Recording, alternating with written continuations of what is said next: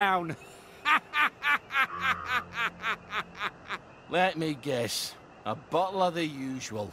Much as I enjoy our quotidian transactions, I'm afraid I'm in need less of a distillation and more of a ratiocination. Oh, fuck up with the word of the day. Can we just open the gate for once? I could, but I won't.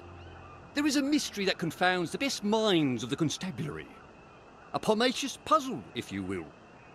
Last night, there was unexpected morbidity at the apple tree, and malevolence at the Malus pumila, so to speak. Someone died last night at the apple tree. Find out how and why.